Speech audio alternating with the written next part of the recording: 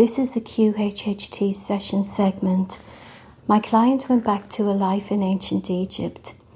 At the start of the session, he described that he was standing at the edge of a wood, looking across a lake, and on the other side of the lake, he could see a pyramid. So I hope you enjoy listening. I want you to focus on you. Can you tell me what you're wearing on your feet? Nothing. Can you scan up your body and tell me what are you wearing on your body? Just um, because it's warm, Yeah. just a pair of shorts. Um Well, it's kind of shorts. yeah. Are you um wearing anything around your neck? Um, Any jewelry or ornamentation or anything on your body? it's more. It's like the teeth of some animal. I don't really know what it is. It's about that length. Yeah. So there's a kind of a necklace, but they're each hanging singly, you know, from here right round. Yes. And I think I have a also um, I have a circ a, a chain as well. It doesn't hang just as far, and there is um, a medal like circular pen, Yeah. pendant, Yes. and it has um, a sapphire crystal in the middle. Yeah. It's quite big, actually. It's it's it's um, diameter of a of a glass, small, you know, narrow glass, Oh yes. Quite big. and there are various designs and shapes on it. On the you know from bit and that's surrounding the, The sapphire. oh yes. Um. Uh, yeah. Do you know the significance of this sapphire or this necklace and why do you wear it?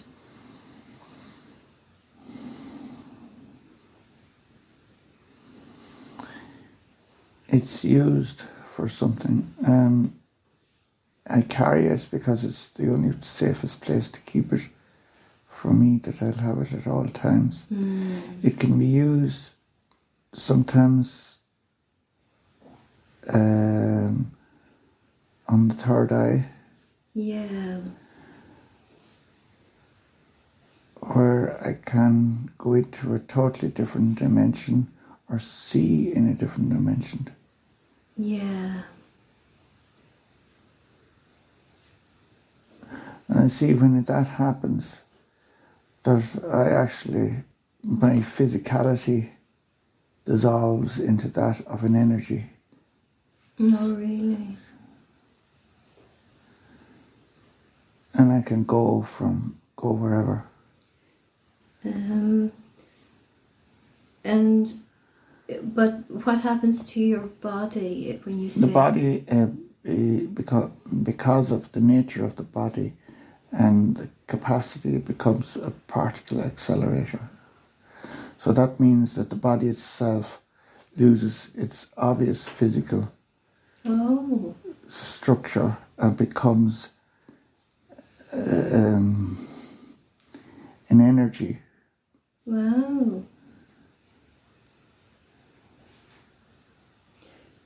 Yeah, so to all intents and purposes, anyone looking at you would say you disappeared. If you become an energy, if your body becomes an energy.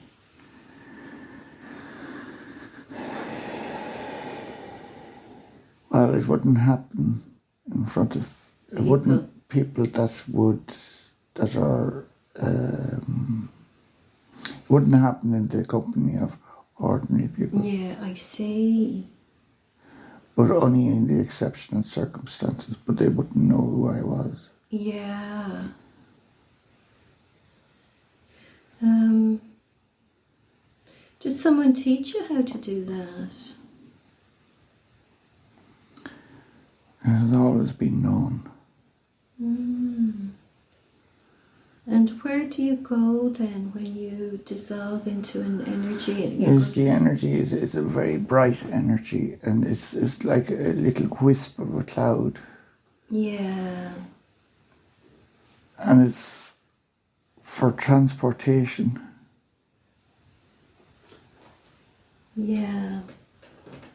or to go from one sphere to another place, if you want, for want of a better description. Um,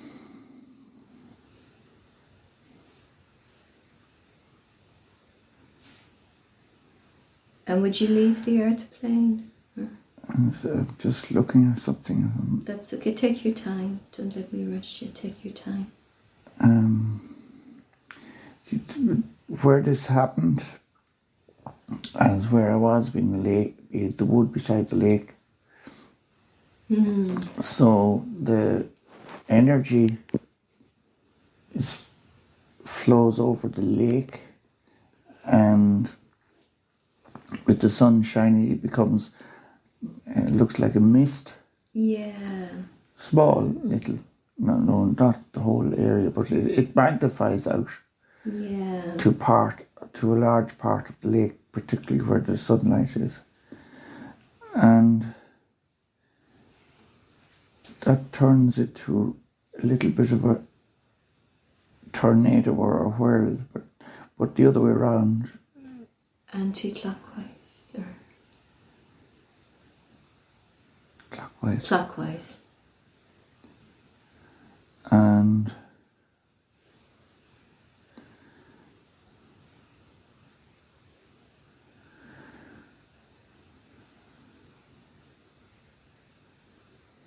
see there was a reflection of a pyramid in the distance It was a pyramid in the distance Yes. so then that my energy seems to transfer to the pyramid Yes. and it opens Yes. you know it just opens like so if you divide it in half it it just opens out Oh yeah. and I enter into that Yeah, and continue watching then and just see what else happens. and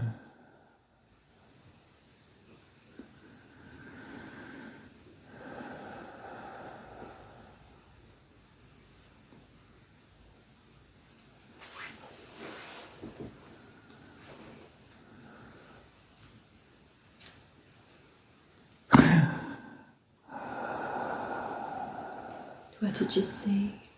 it's uh, it's an energy shift Yes.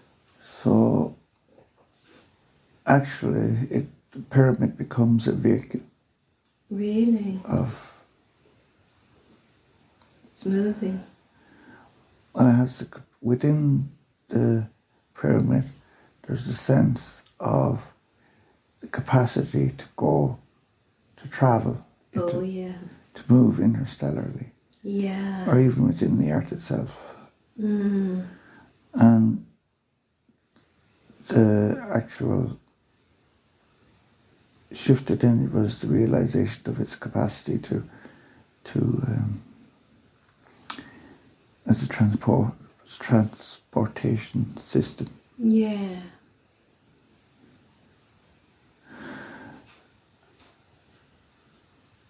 and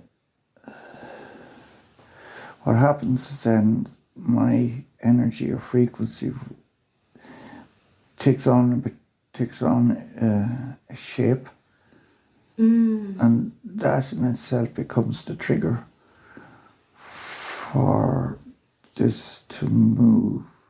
The pyramid itself may not be moving, but it's kind of a portal Oh right. Yeah. where it's very hard to explain now. It's not exactly a portal, it's working within the energies of the ether. Yeah. and there are different highways, if you like. Yeah.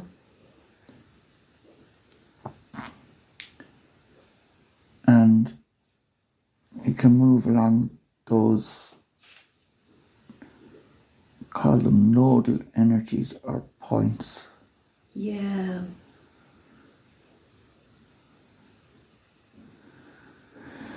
see you have the nodes of, of energy and then this the actual I wouldn't say mirror but it's not it's the it's the um, the frequency or the memory of the existence of what was in within the pyramid and my frequency mm-hmm. which as it travels it's guided by the energies of the different nodes Yeah. Yeah. and within the energy itself and the fact that it has different bandwidths can activate little portals or, or um, guidance systems which will bring it to uh, different different constellations, but also within the earth itself, because the earth is a, a mirror of the universe itself. So it can be inner earth, it can be outer earth. Outer earth, there's so much there that's not seen. None of us see it. Uh, the ordinary human can't see it. There's a plethora of activities going on. Yeah, like I heard this before that there's no such thing as empty space. There's something within it all. There's, there's life within the whole space. It's full of life. There's full of, I don't know, there are things in it. It's not empty space.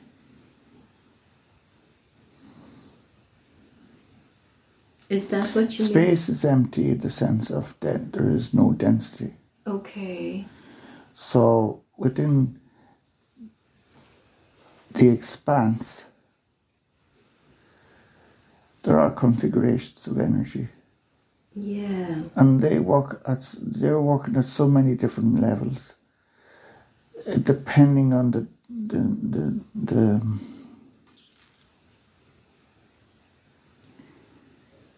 depending on the wavelength, the tone, the frequency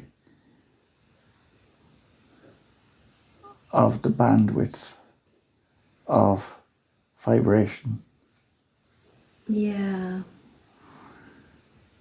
So you can go from what's happening within within or just above the earth itself, within the ether, to what's happening within the cosmos. Yes. And every downing, every so often, there are portals, massive portals, Yes. that brings a, a, um, uh, that brings um, a convoy, if you like, allows for a convoy of exits out to the various parts of the universe, and likewise entry as well. Yeah. Um, and so when you saw that pyramid across the lake, was that on a particular portal or node point?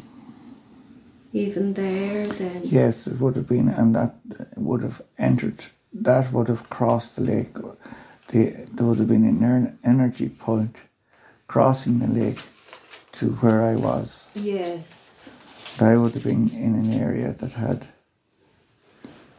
So that had I, that would have been partly a trigger for the, uh, triggering the the medallion I had with the crystal with the Oh yes, I see. So you knew you knew to go to that point. Yes. That- yeah, and and is this something that you would do often? Travel like in this way within, say, that pyramid.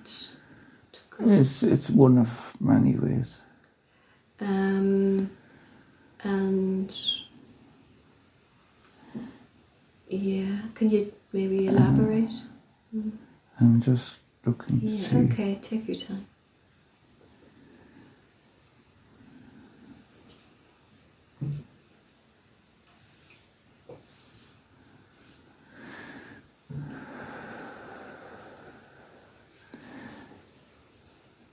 It, it can go. It can be done through, as a, as I mentioned about the particles and and the Yeah. the energy, but it could also be through what's perceived or seen as a being as well. Mhm, Yeah. and the being is of a crystalline nature, and because of the crystalline nature of the sapphire in combination with my own codes, I I can encode that being, and I take on a new or a different. Um, a different what's the word a Former. form or force Yeah. that's particularly um, adapted to a particular tr- spa- place and uh, uh, travel or Yeah. interaction with others at a particular level. Is the entry into a particular level of, of beings. Mm. and where you join in, where I join in, in similar activities. Mm. Um, That can be done at will or at request by others. And it's dependent on the higher source and in conjunction with those at a lesser level than higher source. yeah.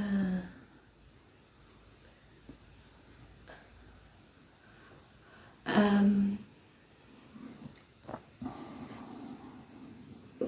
what do you mean by the higher source? That which is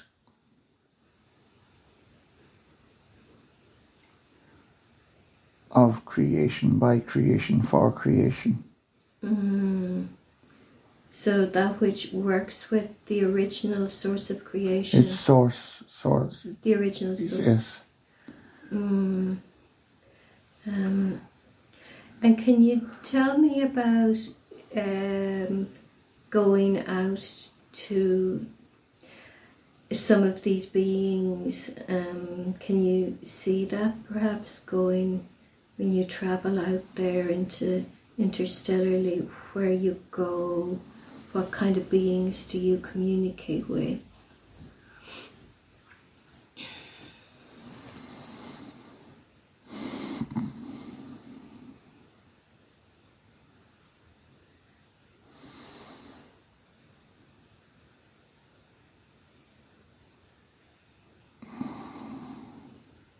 And do you have to have your form like them? You were saying, take on a form, something like their form.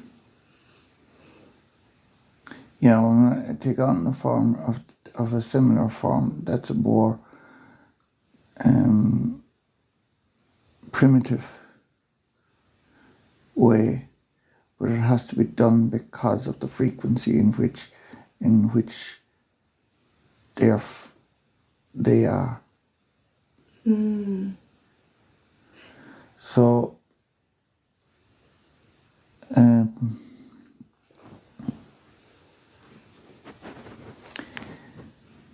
let me see now.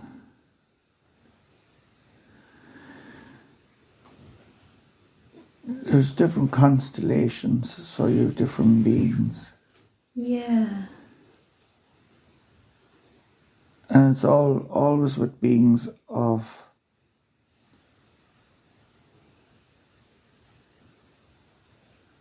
pos- positive light Yeah. And they can be multidimensional. Yeah.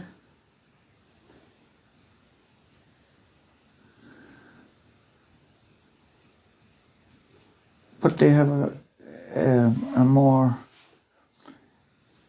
linear capacity. And while complex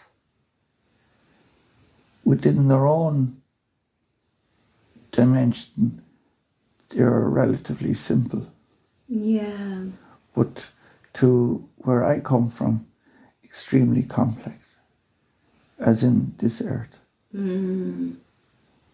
as the human that I've been recognized as. Can you see any of those beings for me and can you describe them um, for me?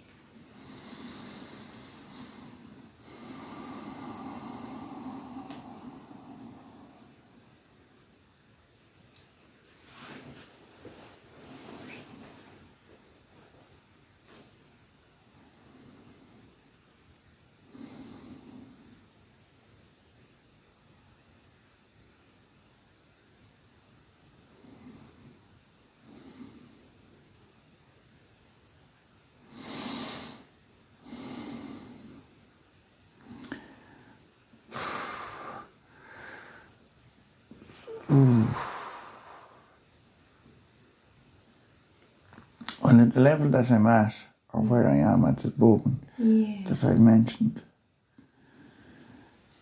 um, they have a, a sort of a similar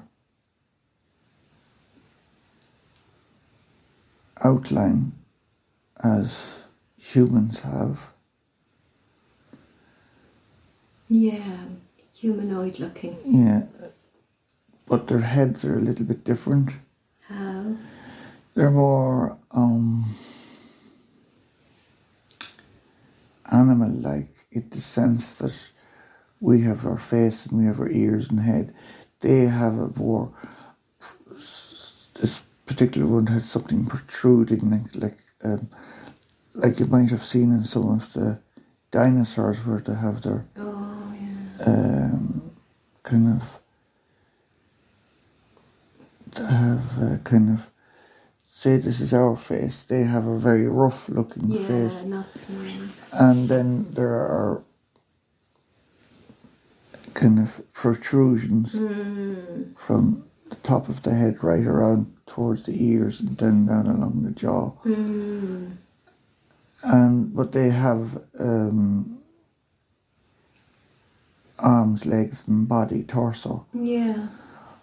and it's in a some kind of a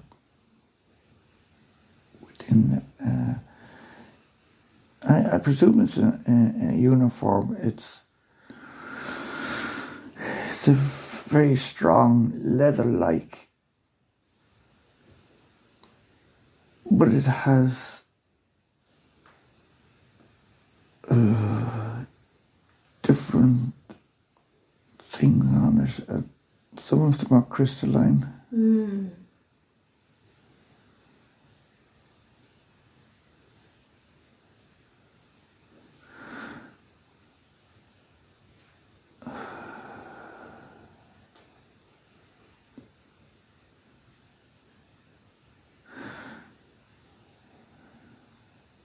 See, I see them that way because I'm coming from a different dimension. Yeah. So in reality, to others, they may be different. Oh, yes.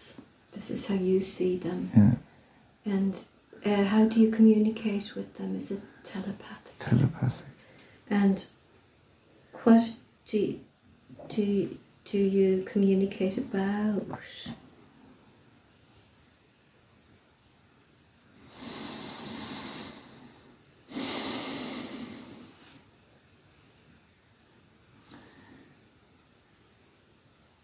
Explaining, trying to, though this is, is, is kind of hard to, it's something to do with the workings of that level. Each, each level of the creational field has different structures Yeah. and they are working at a particular level hmm. within that structure. And it's kind of explained or tried to explain how it works versus how others work. Hmm. And this is really complex.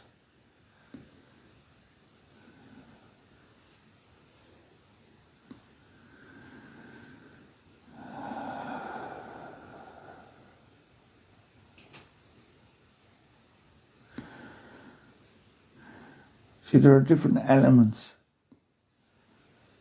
in terms of like elements like stones, rocks, gases, that sort of thing.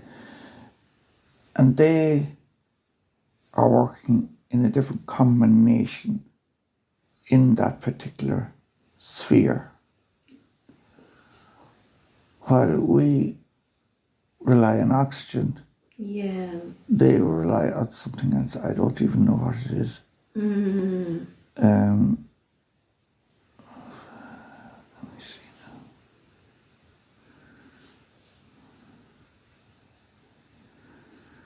More carbon dioxide Right. than oxygen. They, they, they have the oxide version aspect of the carbon dioxide. Yeah. They have a capacity to filter. Right.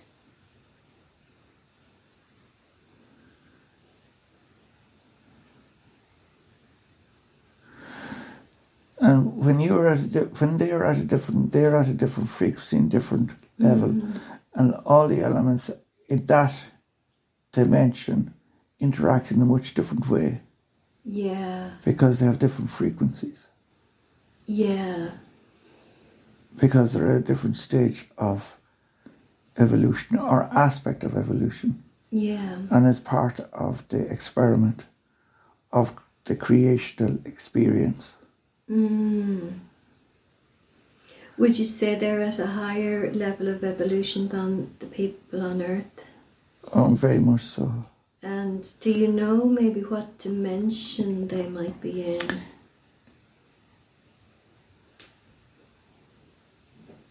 Dimension, the word dimension and the use of the word dimension is a human construction. Mm. So they are not part of the human construction. No. So it's it's more about the developmental aspect of the creational field itself. He, who, what, whatever word you choose. Mm. And its desire for experience, Yeah. where it sends out its um, aspects of itself Yeah. to experience certain uh, levels of um, ex- uh, of creation as of itself at experience I mean the because they're at a particular level they'll have a they have a they're within their own particular dimensions Mm. their own set of um, experiences Mm. like uh, we're all at different levels each dimension each level of the strata of the creational field is at much is is is a different is different Yeah. so the experience and the beings or existence of life within that is of a much different dynamic and it operates in a different way to what we perceive That's right. so while while we may not understand it, it's very understandable from their point of view. Yes. And I wonder have they ever come to Earth to experience Earth?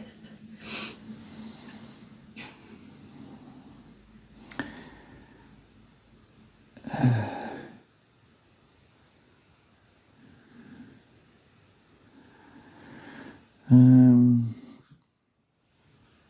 it's as if they had passed through and, and being and gone mm. in a in a flash because it wasn't Yeah. wasn't at a level that they would have, Mm. and partly because in, in other dimensions there is a memory or a knowing, Yeah. and that in itself creates certain restriction. Yes. And sometimes it's the rigidity Mm. that they favour. Mm. Whereas within our existence on this earth, there's loss of memory or connection with Source Yes. in a, in a conscious way. But it's within each of us. And our presence here is to, to allow us to invite the light within so that we can show it outwardly. Mm. And that it gives rise to free will. Yeah.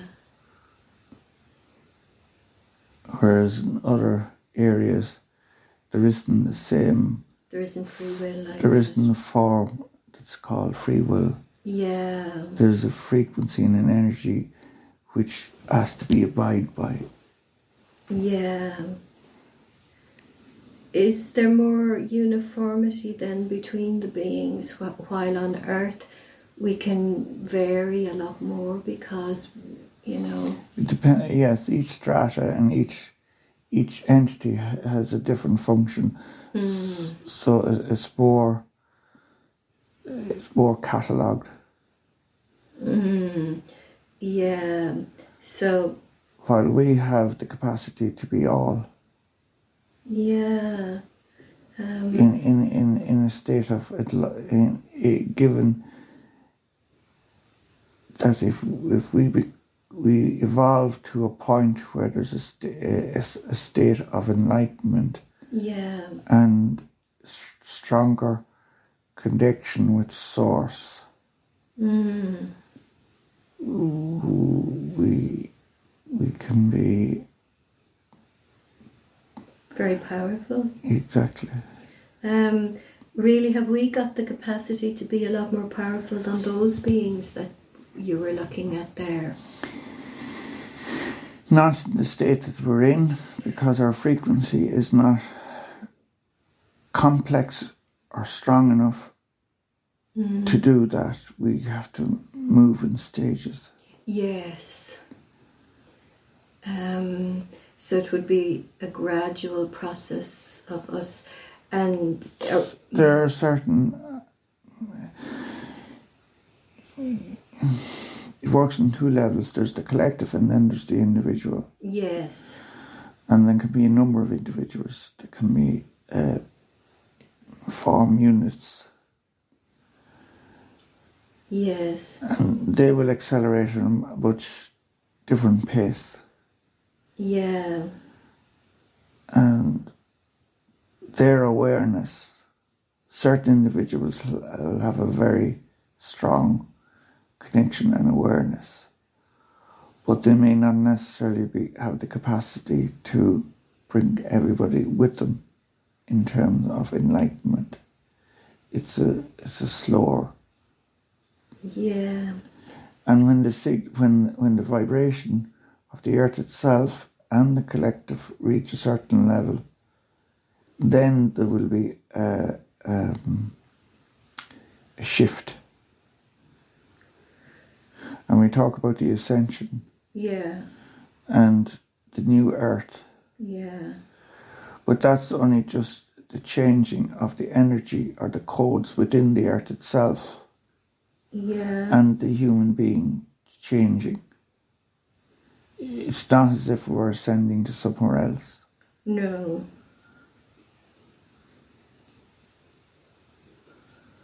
And does it have to, for like the Earth to raise its frequency, do does everyone have to raise at the same time, you know, for it to happen en masse, or how would how would it happen?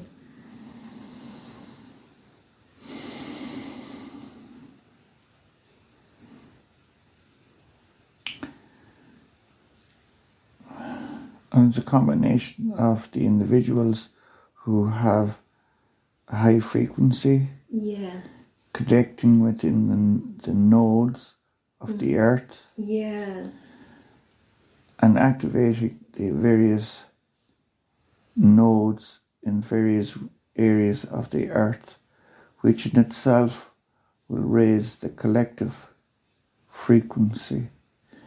A bit unknown to the, to the masses, but uh, some will not be able to sustain. sustain. They just they'll go back to uh, the lesser, and they'll remain there until such time as they can deal with what's what's being presented to them.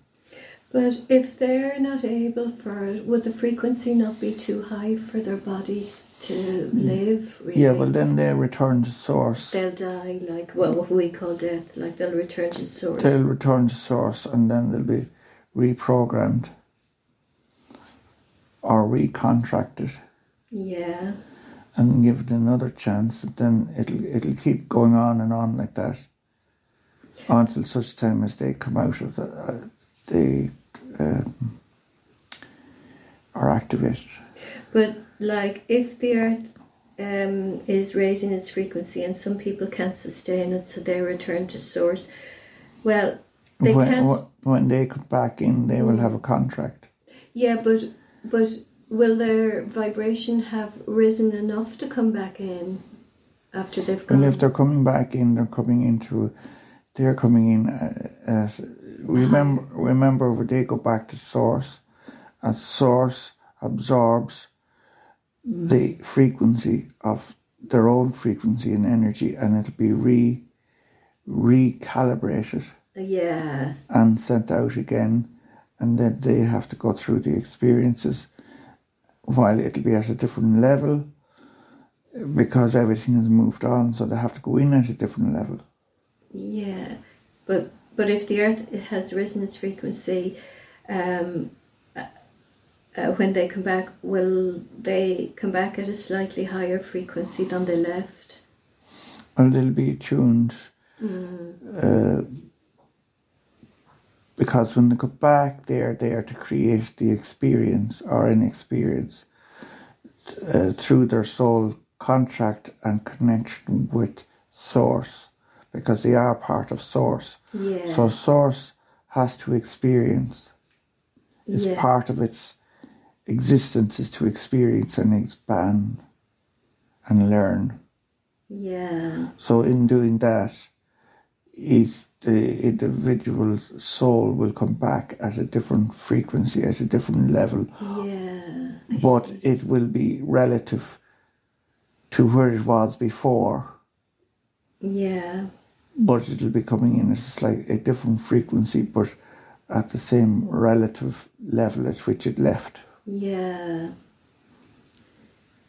Um, Do you understand what I mean by that? I think I do. And what about the karma, say? Does that come into it? The karma that maybe that mightn't have balanced or. Well, if they have certain karma that they had and they've come back in with version of that, Hmm. that's still lessons that they have to learn, Learn, yeah. and go through. Yes. Yeah. And it, it will be given, they will be given an, uh, a certain, they'll come in at a certain frequency, and that frequency will have a, a a version of the karma that exists